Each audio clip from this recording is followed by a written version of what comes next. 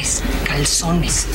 ¿Qué hiciste? Alicia festejó con sus grandes amigas su despedida de soltera. Ana, la amiguita de su novio, ¿Por qué me rasguñas? No me rasguñes.